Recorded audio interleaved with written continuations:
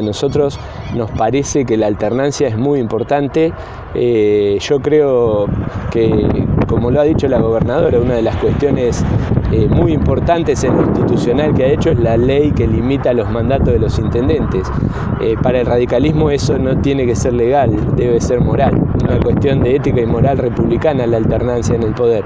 Nació peleando por eso el radicalismo y hoy yo soy radical, pero me acompaña mucha gente que piensa lo mismo y que tiene distintos orígenes, del PRO, independientes, coalición cívica, así que, eh, y ahora se ha ampliado a un sector del peronismo.